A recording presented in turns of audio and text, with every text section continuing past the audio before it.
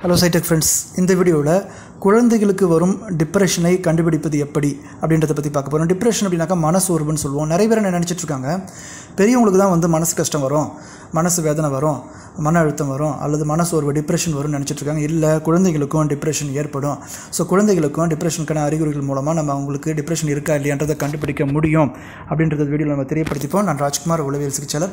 Psychological techniques site Tamil மூலமாக நிறைய psychology சம்மந்தப்பட்ட விஷயங்களை பார்த்துட்ருக்கோம் அந்த வகையில் சைல்டு சைக்காலஜி பற்றி நம்ம வீடியோ பார்த்துட்ருக்கோம் இப்போ நான் இந்த வீடியோவில் முக்கியமாக ஒரு ஏழு விதமான அறிகுறிகள் விலைக்கு சொல்ல போகிறேன் இந்த அறிகுறிகளை நீங்கள் கம்பேர் பண்ணி பார்க்குறதன் மூலமாக உங்கள் குழந்தைகளுக்கு டிப்ரெஷன் இருக்கா இல்லைன்றது தெரிஞ்சுக்க முடியும்.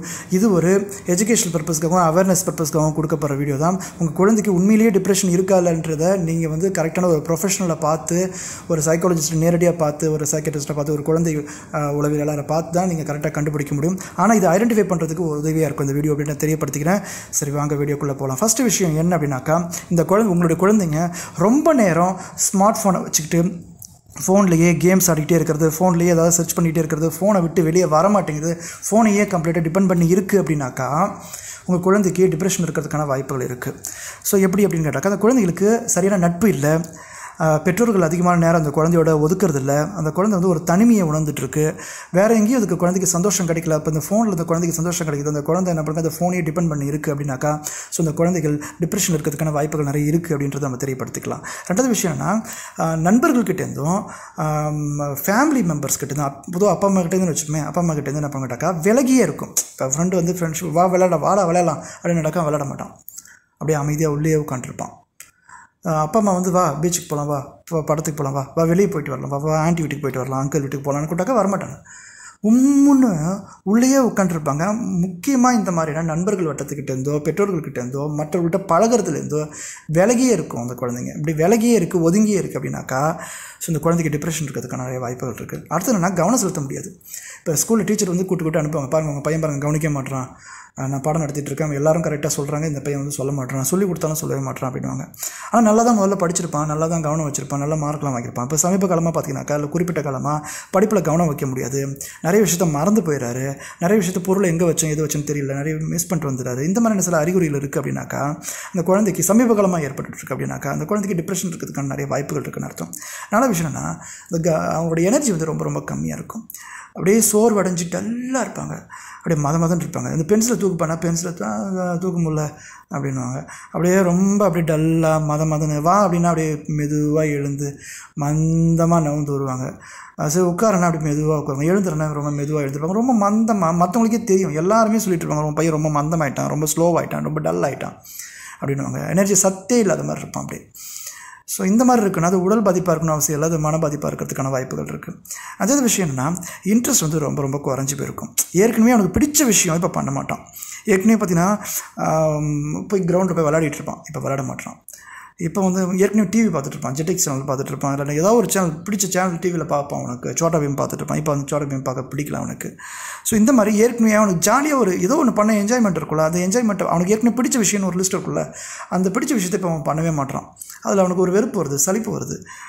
அவனுக்கு அதில் இன்ட்ரெஸ்ட் குறைஞ்சி போயிடுது. அது வேண்டாம் இப்படி இருக்குனாலும் உங்கள் குழந்தைக்கு வந்து டிப்ரெஷன் இருக்கிறதுக்கான வாய்ப்புகள் இருக்குன்னு அர்த்தம். அஞ்சாவது விஷயம் வந்து இந்த உணவு பழக்க வழக்கங்கள் மாறுபட்டிருக்கும். எப்படி?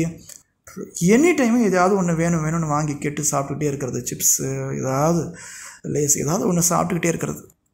இதனால் அந்த குழந்தைக்கு ஒபேசிட்டி வரதுக்கு வாய்ப்பு இருக்குது உடல் பருமன் ஏற்படுறதுக்கு வாய்ப்புகள் இருக்குது ஏன் அந்த குழந்தைகளுக்கு வந்து குழந்தை தானே சாப்பிட்ற வயசு குழந்தை தானே சாப்பிட்ற வயசு நம்ம நிறைய கொடுத்துட்டு இருப்போம் இல்லை அது ஒரு மன அழுத்தமாக இருக்கிறதுக்கு வாய்ப்பு இருக்குது இப்போ மன அழுத்தம் தான் சாப்பிட்றது குறையும் தானே? இல்லை சாப்பிட்றது குறையணும்னு அவசியம் இல்லை. சாப்பிட்றது இன்க்ரீஸ் ஆகிறதுக்கும் வாய்ப்பு இருக்குது ஒன்று சாப்பிட்றது அதிகமாகும். அல்லது சாப்பிட மறுப்பாங்க. ரொம்ப ரொம்ப கொறிச்சு கொறிச்சு சாப்பிடுவாங்க. எங்கேயோ வேடிக்கை பார்த்துட்டு கொஞ்சம் கொஞ்சம் சாப்பிடுவாங்க. இப்படி உணவு பழக்க வழக்கங்கள் மாறுபடுது சேஞ்சஸ் ஏற்படுது அப்படின்னாக்கா அது டிப்ரெஷன் இருக்கிறதுக்கான வாய்ப்புகள் இருக்குது இப்போ ஏழாவது விஷயம் பார்ப்போம். ஏழாவது விஷயம் என்னென்னா குற்ற உணர்வு ஏற்படும். குற்ற உணர்வுனா கில்ட் ஃபீலிங்னு சொல்லுவாங்க. அதாவது எப்படின்னாக்கா இதுக்கு ரொம்ப முக்கியமான காரணம் நம்ம சுற்றி இருக்கிறவங்க தான். பேரண்ட்ஸாக கூட இருக்கலாம் சுற்றி இருக்கவங்களா இருக்கலாம். ஸோ எல்லாத்துக்கும் நீ தான் காரணம். நீ பொறுப்பாக இருக்கணும். நீ ஏன் அப்படி இருக்க மாட்ற? நீ தப்பு பண்ணிட்ட. நீ இந்த மாதிரி செஞ்சுட்ட. அந்த மாதிரி நடந்துக்கிட்ட அந்த பையனை பாரு. எப்படி நடந்துக்கிறான்? நீ அப்படி நடந்துக்க மாட்டேற நீ சரியாக இல்லை? நீ நல்லா இல்லை? இப்படியே போனால் என்ன ஆகும்னு குற்றத்தை தொடர்ந்து சொல்லிக்கிட்டே இருக்கிறதுனால எல்லாரும் நம்மளை குற்றம் சொல்லிகிட்டு இருக்காங்க அப்படின்னு ஓ நாம் அப்படி தான் நாம் அவ்வளோதான் போல இருக்குது நம்ம இந்த மாதிரி தான். நம்ம செய்கிறது சரியே இல்லைன்னு நினச்சிக்கிட்டு ஐயோ நாம் ஏன் அப்படி பண்ணுறோன்ற மாதிரியான ஒரு ஃபீலிங் வந்து அதுவே ஒரு குற்ற உணர்வாக மாறதுக்கு வாய்ப்பு இருக்குது போன வாட்டி நீ வந்து எயிட்டி மார்க் வாங்கினா இப்போ ஏன் செவன்ட்டி ஃபைவ் மார்க் வாங்கணும் எல்லாத்தையும் கம்பேர் பண்ணி பார்த்து அந்த குழந்தைகளை தொடர்ச்சியாக குற்றம் சொல்லிகிட்டே இருக்கும்போது தானாகவே அந்த குழந்தைக்கு ஒரு குற்ற உணர்வு வரும். இந்த மாதிரி குற்ற உணர்வு டிப்ரெஷனுக்கான ஒரு அறிகுறியாக மாறிடும். ஸோ முக்கியமாக ஒரு ஏழு விஷயங்கள் பார்த்துருக்கோம். நான் ஏற்கனவே சொன்ன மாதிரி உங்களுக்கு குழந்தைக்கு உண்மையாக அந்த மாதிரி அறிகுறி இருந்ததுன்னா நிச்சயமாக ஒரு ப்ரொஃபஷனலை மீட் பண்ணி பாருங்கள் ஒரு சைக்காலஜிஸ்ட்டை மீட் பண்ணி உங்கள் குழந்தைய கொண்டு போய் காமிச்சிங்கன்னு சொன்னாக்கா ஸோ இந்த அவர் வந்து சரியான ஒரு அசஸ்மெண்ட் பண்ணி உங்கள் குழந்தைக்கு டிப்ரெஷன் இருக்கா இல்லையான்றது பண்ணுவாங்க. அதுக்கான சிகிச்சை முறைகள் இருக்குது அதுக்கு எப்படி நடந்துக்கலாம்? பேரண்டல் ட்ரைனிங் எப்படி கொடுக்கலாம்? பெற்றோர்கள் நீங்கள் எப்படி பேசணும்? என்ன பண்ணணுன்ற விஷயங்களை நம்ம இதில் பார்க்கலாம். அப்படின்றத விஷயங்களை அவங்க சொல்லிக் கொடுப்பாங்க. ஸோ உங்களுக்கு இந்த டிப்ரெஷனை பற்றியும் குழந்தைகளை பற்றியும் முழுசாக தெரிஞ்சுக்கணும் அப்படின்னாக்கா நீங்கள் இந்த வீடியோ கீழே டிஸ்கிரிப்ஷனில் குழந்தை உளவியல் சைல்ட் சைக்காலஜி அப்படின்னு சொல்லக்கூடிய ஒரு கனெக்ட் பண்ணியிருப்பேன் ஒரு லிங்க் ஒன்று கனெக்ட் பண்ணியிருப்பேன் அதுக்குள்ளே பார்த்தீங்கன்னாக்கா குழந்தைகள் சம்மந்தப்பட்ட குழந்தைகளை புரிஞ்சுக்கிறதுக்கான குழந்தைகளை தெரிஞ்சுக்கிறதுக்கான குழந்தைகளை சமாளிச்சுக்கிறதுக்கான குழந்தைகளுக்கு கூட உளவியல் சிக்கல்களை உளவியல் சிக்கல்களை நாங்கள் வந்து அதிகமாக தெரிஞ்சுக்கிறதுக்காக நிறைய விதமான வீடியோஸ் நான் வந்து அப்லோட் பண்ணியிருக்கேன் சைடெக் தமிழ் மூலமாக நீங்கள் அவைகளை பார்த்தீங்கன்னா உங்களுக்கு ஒரு நல்ல ஒரு கிளியர் கட் ஐடியா உங்களுக்கு கிடைக்கும். ஸோ அப்படின்றத தெரியப்படுத்திக்கிறேன். இந்த வீடியோக்கு சேனலுக்கு புதிய இருந்தாக்க நீங்கள் சப்ஸ்கிரைப் பண்ணி வச்சுக்கோங்க. பெல் பட்டனையும் கிளிக் பண்ணிங்க. அதன் மூலமாக நான் தொடர்ச்சியான டெய்லி உங்களுக்கு வீடியோ அப்லோட் பண்ணிகிட்டு இருக்கேன். அந்த வீடியோ வந்து உங்களுக்கு சேரும்.